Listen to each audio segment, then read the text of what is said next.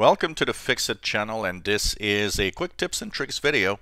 Have you ever updated your drivers for some specific hardware on your PC to just find out that the new driver is actually worse than the one before or is crashing your PC or causing all sorts of issues? Well, you can actually roll back your driver if you want most of the time.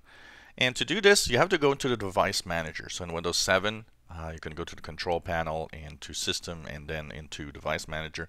Windows 8, Windows 10, right click the start button, go into device manager.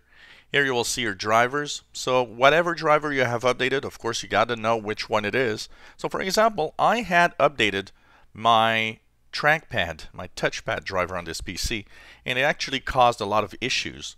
So I double clicked, then you go into driver, and here you have rollback driver. I can click here and roll back to the last driver.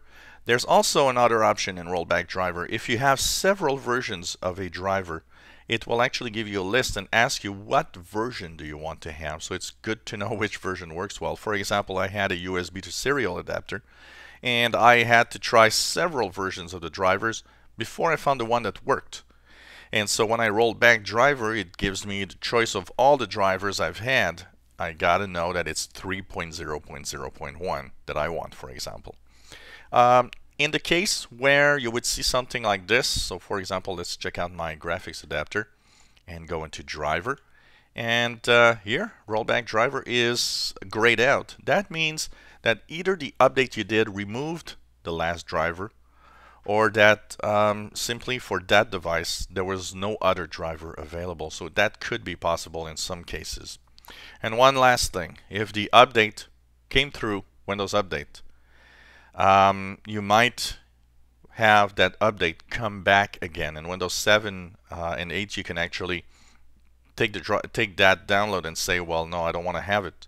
Um, and um, you might also use the little trick of the uh, metered connection in Windows 10 if you want. That will prevent the download of updates. But um, hopefully, it's this is you know better in the cases where you have manually updated your drivers. If you have any comments, questions, suggestions, let us know. If you enjoy our little tips and tricks video, you can subscribe, give us thumbs up. You'll know when new videos are online. And thank you for watching.